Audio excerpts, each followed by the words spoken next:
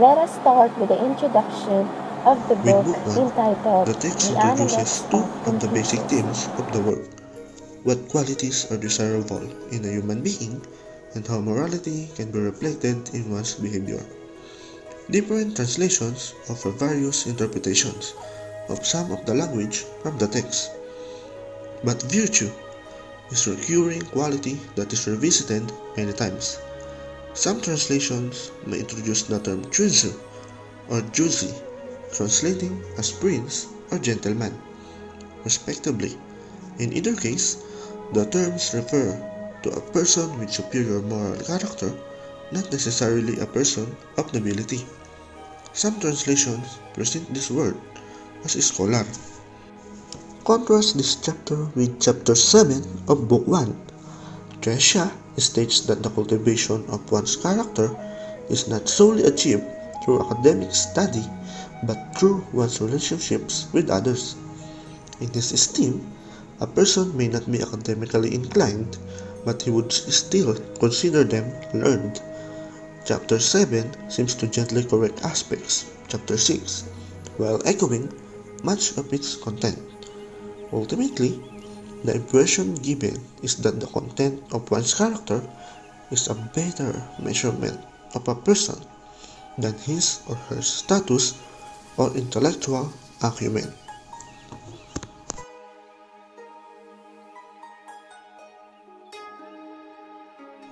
Book 2 turns its attention to matters of government. Chapters 1, 2, and 3 deal with the government issues and the importance of te or character. Confucius compares the moral leader to one whose character is like the North Star, even as the ethical beliefs of those around such a person may shift. One possessing true character remains steadfast.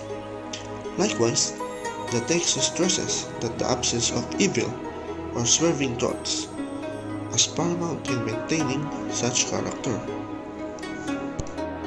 Chapter 3 echoes Chapter 1 in stating that a moral leader does not use punishment to rule but relies again on the strength of moral character. Simply, rule through force or fear will breed resentment, while governance through character will lead by example. These same ideas are echoed in chapters 19 and 20. The chapters 6, 7, and 8 return to the topic of filial piety.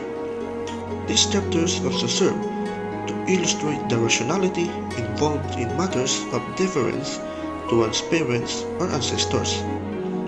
This seems to be an effort to differentiate between a blind acceptance of a set of rules and the true understanding of the logic or even necessity of such cultural customs.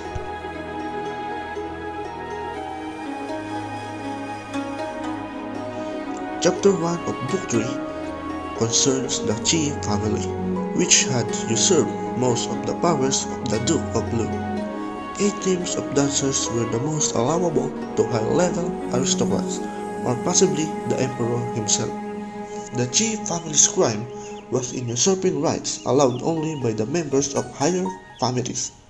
This book of the text deals largely with matters of ritual and family, so this is a fitting start. In chapter 2, Confucius mentions the three families of Lu. This refers to the Qi, Mang, and Shu Shusun. The Yusung or Ode mentioned refers to the Book of Songs, whose use was originally only appropriate in the emperor's court and not in the duke's palace. Some historical context is also important here. In 771 BC, the Zhou dynasty lost most of its power to regional lords when the royal line was broken. As such, Zhou kings ruled largely in name only. The Son of Heaven in the text refers to the Zhou king.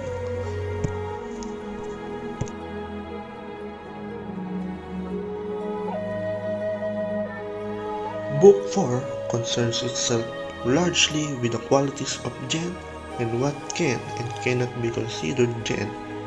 Thus, it also deals with the characteristics of a gentleman. Confucius lays out specific examples of what a gentleman should and should not do. This is a brief book when compared with some of the others in the text. It also touches briefly on the matters of filial piety, specifically relating the periods of mourning when one's parents have passed and how long a son should continue in the path of his father after his father's death. In Book 4, chapters 3 and 4 are usually lumped together because of their seemingly contradictory nature. Confucius states that a good man knows both how to like someone and how to hate them. In chapter 4, he is then quoted as saying that a good man will, in fact, dislike no one. This seemingly discrepancy illustrates the editorial issues inherent in the text as a whole. In later books, in particular, you will see that translations proves quite difficult and varies greatly in its interpretation at times. In this particular case, chapter 4 can also be translated as only a good man is safe to like and safe to dislike. For if you like him, he will not take undue advantage of it, and if you dislike him, he will not resent it. This provides a more constructive picture when coupled with the first verse in chapter 3. Book 4 also speaks of te, or moral force. In chapter 11, for example, Confucius states that the gentleman sets his heart upon moral force. Confucius prioritized marriage making as guided by character and not by fortune. So the master said that someone is worthy to be wived despite of the imperfections. The master said if there were no virtuous men in Lu, then how he would have a superior virtue character. But he said that readiness of the tongue is no part of virtue. Confucius proposing to withdraw from the world, and if the doctrines will make no way, he will get upon the raft and set out of the sea accompanied by one of his disciples. The master reminded them that they are not equal to others. Absolutely not. He, together with the people of Lu and his disciples, share unbending and significant virtues and principles that are highly important to attain and practice. Above all, they are ready and determined to take the right direction but it is undeniable that they still need Confucius to guide them.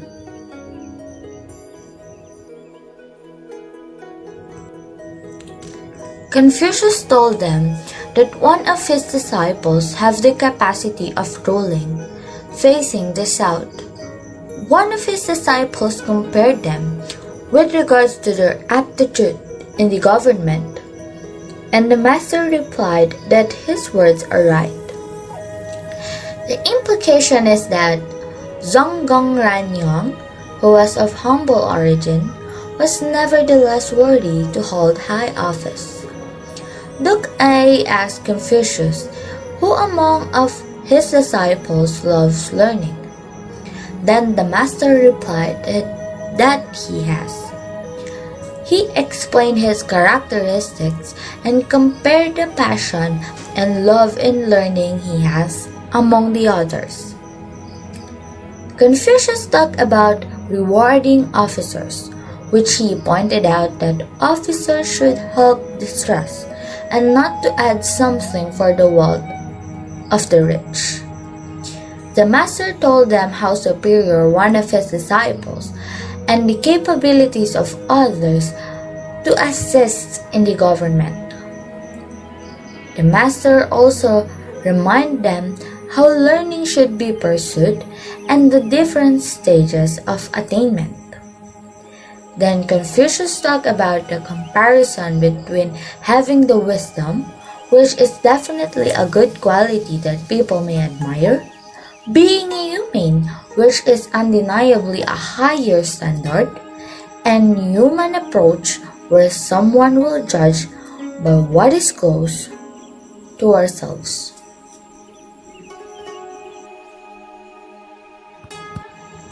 Confucius said that he is a transmitter and not the maker, that he believed he can compare himself with the old Peng. He also mentioned that he can teach anyone who put interest and eagerness to learn without tiring. He told them that the virtue that is not sufficiently cultivated, learning that is not thoroughly digested, and not being able to do what you have learned are the things that make him anxious. The Master required real desire and ability on his disciples and his readiness to impart knowledge. He also mentioned that he didn't open up to those people who are not determined to gain knowledge and those who are having difficulties in expressing themselves. Once is enough. If they will not learn from it, he will not repeat the lesson.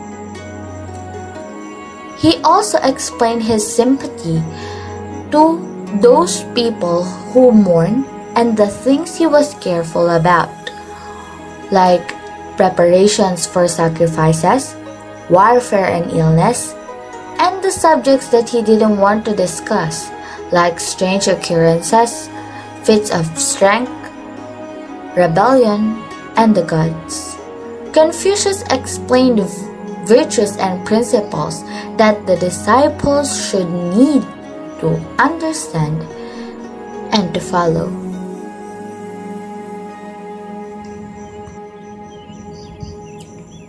Confucius explained what is the value of the rules of propriety and of example in those in high stations.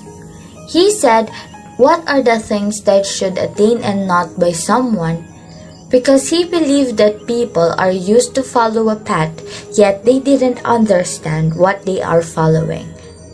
He also told the worthlessness of talent without virtue like if someone have talent, but if he is not humane, his talent will be set aside and will be not worthy at all. Confucius live advises that learning should be pursued as if the goal is never been achieved. And he then praised the characteristics of one of his disciples that he didn't find any flaws about him.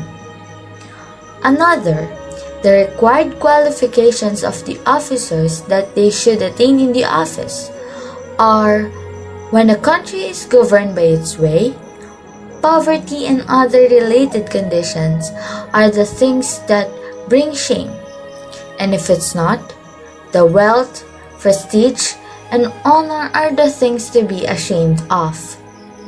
Then he reminded them that man should mind his own business like if he doesn't hold any position in the office, then he shouldn't make any actions and he has nothing to do with the administration.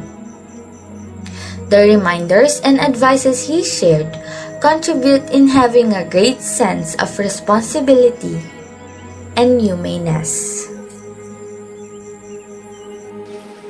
Book 9 The Master seldom spoke about profit, fate, or humaneness. Confucius was known as a great man by a villager in Dashang, but is not making reputation for himself, so he chose charioteering to specialize than archery, and shared rituals which made differently from the past and present. The master observed four prohibitions no willfulness, no obstinacy, no narrow mindedness, no egotism. The people of Kuang mistook Confucius for Yang Hu, a military leader who had led a revolt in the religion, which Confucius' life was put in danger. The master has a close connection to the prime minister as he stated that he knows him well. The appearance of the phoenix and the mysterious chart put forth by the Yellow River were believed to be portents signaling the presence of a sage in the world. Yan Yuan uttered that the master helped him to widen his culture ideas, rituals, and leads others. The master talked about death as if he were a government official. As a private individual, though he was not entitled to such retainers and better die in hands of his disciples than in a roadside. He even wished to live in non-Chinese people, to put music in order, the Ya and Song, which are sections of the Book of Odes. He never saw a person who loved virtue the way to loved physical beauty. He even said to show respect that words may bring change, attention, or advice, but it is great to interpret it correctly. Be loyal and trustworthy. Make good friends and not be afraid to correct mistakes. Be a good follower and be with oneself. Take a stand and be good in making points. He also shared poems from the Book of Odes. Book 10 Confucius talked with different people and ruler with a rightful manner which shows a symbol of the ruler authority. He acted with his attitude and his appearance. He shows himself with the proper gentleman gesture. Many of the passages deal directly with the gentleman's conduct at court or other public settings involving politics or aristocracy. Also, it presented the conduct of a gentleman in ritual matters like what a gentleman should and should not do in every situation. When presenting official gifts, his expression was genial, and at the exchange of private gifts, his manner was even more relaxed. The gentleman wore garments depending on weather, days, or ritual times. He had no objection to polished rice or meat or fish finely cut up, but he is standard from how it was presented or cooked. He had self-norm for how to take foods and drink wine. Confucius politely acknowledges receipts of the gift, but does not, contrary to custom, taste it, being uncertain of its properties to make certain it was safe to eat before sharing it with others. He asked questions about everything when entered the Grand Temple. He handles funeral proceedings. He bases his attitude and manner depending on the state of person he may see. The rest of the book continues in this manner, touching upon various instances of proper etiquette. Book 11 the master differentiates the older and younger people on how they handle rites and music. He said, Older people are rustics and younger people are true gentlemen, but in usage, the master follows the older ones. He brought conversations about the disciples and gave insights with many events that were shared together. It is obvious that Confucius had strong feelings and bonds with them. Several passages seem to cover the period of mourning Confucius was in following Yan Yuan or Yan Hui's untimely demise, and some reveals disagreements and tension between Confucius and other disciples. Also, it sheds some light on how Confucius dealt with his disciples. He explained the question of Ran Yu or Ran Qiu and Gongxi Hua and give different answers that are about hearing something as well as putting it into action. Some were mentioned a mild criticism of the disciple Zilu, perhaps made in jest. Confucius then goes on to give a more serious evaluation of Zilu's level of attainment. Both Zilu and Ranqiu were in service to the Ji family. Confucius hints at the Ji family's possible designs for usurpation. Bi was one of the areas under the control of the G family. Confucius considered Zigao too young for such an appointment, particularly one associated with the Ji family. Confucius, while loving a zealous outspoken manner, at the same time disparages the excessively modest language in which the other two express their ambitions. Book 12 the master answered each of his disciples' questions. first is about humaneness. The master said it goes with mastering the self and return to ritual. Maybe behavior that you do not want others do to you, then do not do to others, or being cautious, or by showing love and understand others. Another is about gentleman. He answered that it is the one who has no worries and no fears, brings out what is most admirable in people. He does not bring out what is bad in them. The petty man does the opposite. Next is about clear sightedness. The master said, It is someone who is unmoved by insidious slander or hurtful and persistent accusations. And about government. It is having enough food, enough weaponry, and the trust of the common people. He added, Let the ruler be a ruler, the subject a subject, the father a father, the son a son. While you engaged in it, never be negligent. Act in accordance with loyalty. To govern is to put to rights. And about how to deal with friends. He answered, Advise them in a loyal manner. Lead them with goodness. But if you get nowhere, then stop. No use to bring shame on yourself.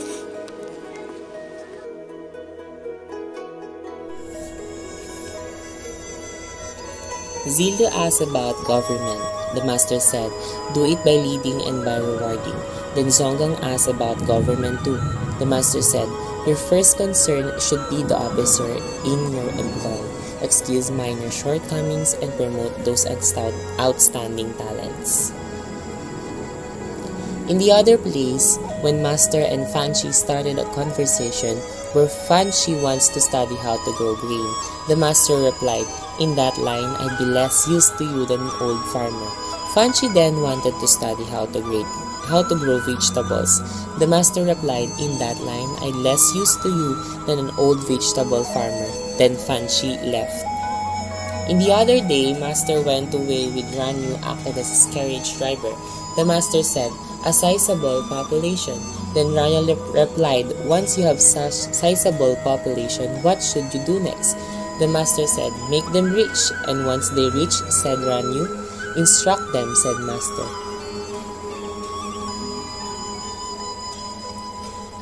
In the other place in the court, Master Ran was very late.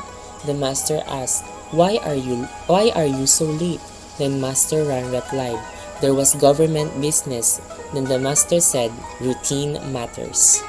Duke King asked, Is there one word that can bring prosperity to the domain? Then master replied, Words alone cannot do that. To be a ruler is difficult. To be a minister is not easy. In Jufu, where Zixia becomes the stewards, in there he asked about government.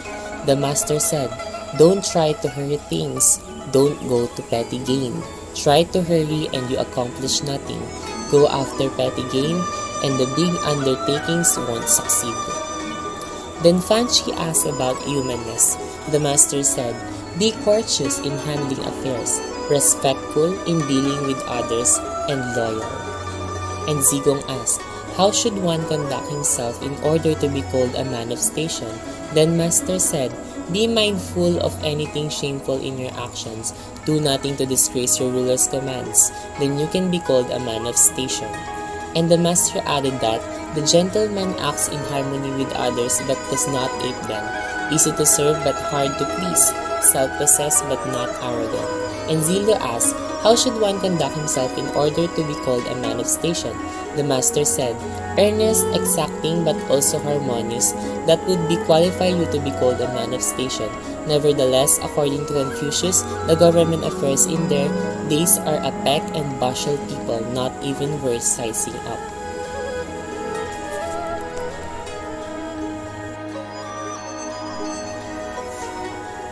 Xian asked, What is shameful? The master said, When a state follows the way, one receives an official stipend, but when a state is without the way, to receive an official stipend is shameful. Nangongkuo questioned Confucius. After Nangongkuo had left, the master said, A gentleman should be like this, an upholder of virtues should be like this, And he added, If you love people, can you fail to reward them? If you are loyal to them, can you fail to admonish them? Someone asked Zichan. The master said, A generous man.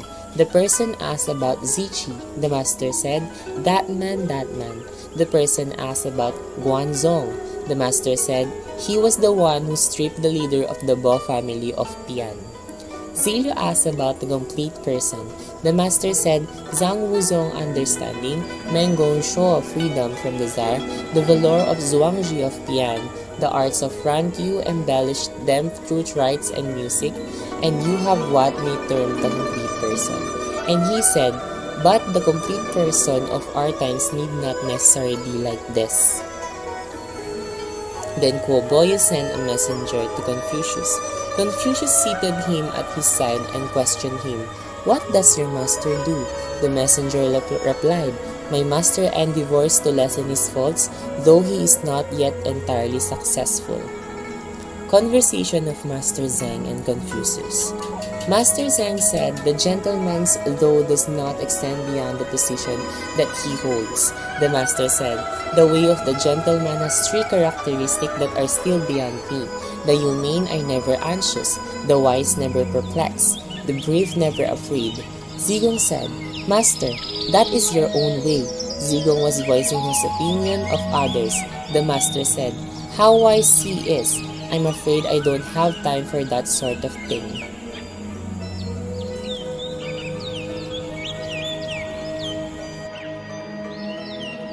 Qiu said to Confucius, Q, why are you always rushing around? Are you trying to talk yourself into favor? Confucius replied, I would not venture to talk myself into favor. I'm distressed by so much obstinacy. Zigong said, Why do you suppose that no one understands you? The master said, I bear no grudge against heaven. I do not blame others. I study affairs close at hand and try to become adept in higher matters. Perhaps it is heaven that understands me. Zilu stopped for the night at Stone Gate. The gatekeeper said, Where are you from? Zilu said, From the household of Confucius. The gatekeeper said, The one who knows there's nothing that can be done but keeps on trying? Zizhang said, The book of documents state that Gao Zong was in his mourning, but for three years without speaking. What does this mean? The master said, Why only Gao Zong? The men of ancient times all did this. When the ruler passed away, the officials under him for three years took all their instruction from the prime minister.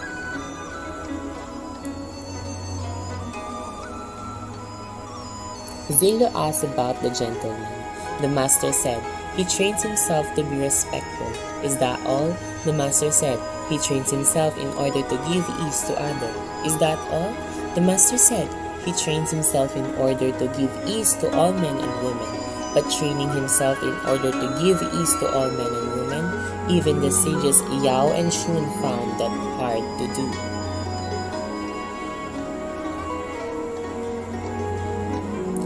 Yuan Rang sat waiting for Confucius in a sullenly posture. The master said, Young but not properly submissive, grown and no one speaks well for you. Old and you still don't die are your pest. A young boy of the village of Q was assigned to carry messages. Someone asked Confucius about him, saying, Is he improving himself? The master said, I've seen him sit in the seat of, for adults, seen him walk shoulder to shoulder with his elders. He's not trying to improve himself, he's just in a hurry to be treated as a grown up. Duke Ling of Wei asked Confucius about battle formations. Confucius replied, With regard to sacrificial platters and stands, I have some learning, but I have never studied military affairs. The next day, he left Wei for good. When Confucius was in Chen, he ran out of provisions, and his followers were so weak that none of them could stand up. Zilu confronted Confucius angrily, saying, Does the gentleman have to put up with such hardships? The master said, the gentleman remains firm in the face of hardships. The petty man, when he encounters hardship, gives way to panic. Zizhang asked about how to get along in the world. The master said, If your words are loyal and trustworthy, and your actions sincere and respectful, then even in the lands of the Man and Mo tribes, you will get along. Zigong asked how to practice humanness. The master said, A craftsman who wants to do his job will must first sharpen his tools.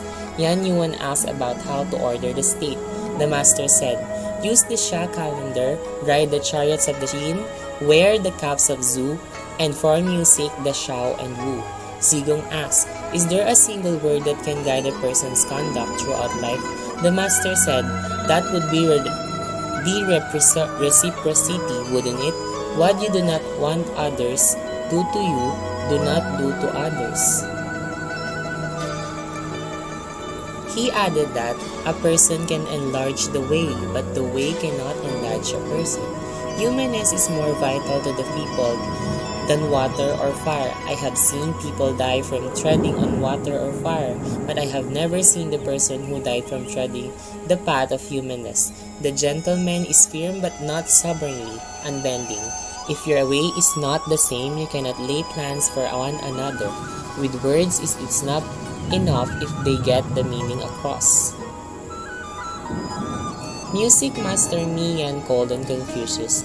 When they reached the step, the master said, Here are the steps. When they reached the seating mats, the master said, Here are the mats. After everyone was seated, the master reported, So and so is over here, so and so is over here.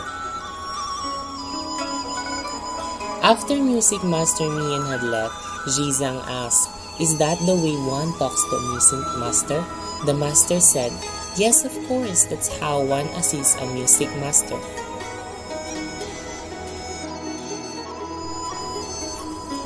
Ranyu and Zilu, two disciples who were in the service of the Ji family, informed Confucius of a plan to attack Zhuanyu, a small feudal domain within the state of Lu. When the Ji family was about to attack Zhuanyu, Ranyu and Zilu called on Confucius and reported that the Ji family was planning to move against Zhuanyu. Ranyu and Zilu, two disciples who were in the service of Ji family, informed Confucius of a plan to attack Zhuanyu, a small feudal domain within the state of Lu. When the Ji family was about to attack Zhuanyu, Ranyu and Zilu called on Confucius and reported the Ji family was planning to move against Zhuanyu. Confucius said, Are you going to make a mistake like this? Ranyu said, Our Lord wishes to do so, neither of us his servants wish it. Duke Jing of Qiu had a thousand team of four horses, but the day he died, the common people of Qiu could think of no bounty to praise him for. Cheng Gang questioned Confucius' son, Vio Boyu, saying, As a son, have you received any special instructions? No, replied Boyu. But once when my father was standing by himself and I hurried across the courtyard, he said, Have you studied the odes? Not yet, I replied. He said, If you don't study the odes, you won't know how to speak properly. So after that, I studied the odes. Another day, when he was standing by himself and I hurried across the courtyard, he said, Have you studied the rites? Not yet, I replied. He said, If you don't study the rites, you won't have any basis to stand on. So after that, I studied the rites. He gave me these two pieces of instruction.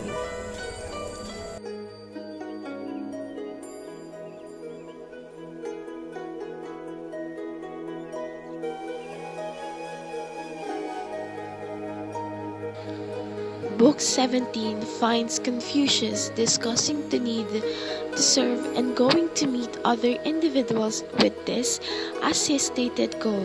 However, there is no indication that any political service took place. Here we can see that there is a direct contrast between Confucius' own ideals and his desire or guilt to serve. He seeks to find a way to be political active and relevant, yet is unwilling to work with anyone he finds unsavory. This places him in a difficult position as he is unwilling to compromise. It begins with a story that moves Confucius to seek political office. After receiving a suckling pig as a gift from Yang Hu, Confucius sought to avoid an audience from this man. Instead, he travels to his home at a time when believes Yang Hu will not be there to thank him for the gift. Regardless, he runs into Yang Hu on the way. Yang Hu possesses a question that Confucius, asking if one who has such talents as Confucius does, but does not serve his country, can be called a good man. He reminds Confucius that time is passing quickly. Confucius responds that he will serve. Book 17 contains short anecdotes and saying, reflecting on familiar themes such as ritual or the nature or the gentleman. Confucius' relationships with the disciple Chai Yu has already been shown and to be rocky. In the book 18 deals largely with the concept of seclusion. Many of the passages deal with individuals distancing themselves from immoral actions or behaviors. Books opens with Confucius speaking about Chu, the last sovereign of the Yin dynasty, and how he faced the Lord of Wei to flee and the Lord of Qi to be enslaved and killed Bigan. He adds that the Yin dynasty would have benefited greatly from these three men. In chapter 3 in book 18, Duke Jing of Qi tells Confucius that he is old and has no use for him.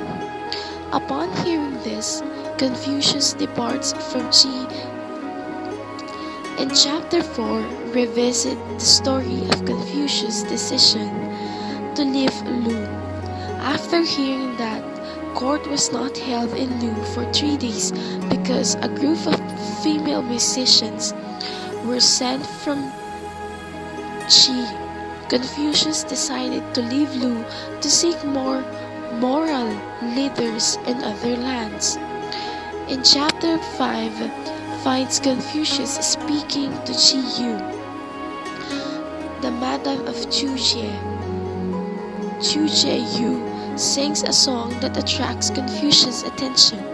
He sings, O Phoenix, Phoenix, how dwindled in your power as to the past. Reproof is idle, but the future may not yet be reminded. Ventis, Ventis, great in these days, is the peril of those who fill office. Upon hearing this, Confucius attempts to speak to Shi Yu, but the madam weakens his step and disappears. The book 19 features saying by his disciples and does not feature Confucius himself. A number of different disciples are quoted in it. Book Zizhang and Zixia factor most heavily. When Zizhang asks what it is that Zixia teaches them, they tell him that Zixia says, Go with those who are proper and keep others at a distance. Chiu Chiang responded that he was taught otherwise and that a gentleman finds room for all. Hunsen Wushu mentions to some high officers that Chiu Kung is a better man than Confucius was. Upon hearing this, Chiu Kung makes an analogy using the wall around the building as his metaphor. He says that the wall around his building is not very tall, short enough for a man to see over and into the house inside. Confucius' house, instead, would have been surrounded by a very high wall and a very high and a very few would have had a chance to get a glimpse of the inside. For this reason, Chiu Kung says Sun Sun Wu Xu's comments can be forgiven. He continues to say that any attempt to disparage Confucius is pointless. He is beyond reproach. Chungni or Confucius is the sun and moon that cannot be climbed over. If a man should try to cut himself off of them, what harm could do it to the sun and moon? It would only show that he did not know his own measure. Xiu Qin tells Xiu Kung that he is simply being modest and that Xiu Kung was very every bit Confucius' superior. Again, Xiu Kung disagrees, warning Xiu Qin to choose his words carefully so as not to seem as a fool. A gentleman, though for a single word he may be set down as a wise. For a single word is set down to a fool, it will not be as hard to equal our master as to climb up on a ladder to the sky. In chapter 1 in the book 20 deals with the succession of power among kings as it is according to heaven. This chapter also praises King Wu for his decisions to rule according to the way. Chapter 2 finds Chu Tiang asking Confucius about what a man must do govern the land. Confucius tells Chu Tiang that he must pay attention to the five lonely things and keep the four ugly things at a distance. Confucius explains that the five lonely things are to be bounteous without extravagance, to get work out of people without arising resentment, to have longings but never be covetous, to be proud but not insolent, and to inspire awe but to never be mean. The four ugly things are explained to be putting men to death without teaching them what is right, expecting the completion of tasks without due warning, to be slow to act in giving orders but to expect punctuality, to hold a grudge against a man after giving him something. The book 20 ends in chapter 3 with a short passage about the gentleman. Confucius states that one who does not understand heaven cannot be a gentleman. One who does not know rights cannot partake in public occasions, and one who does not understand the meaning behind words cannot understand people.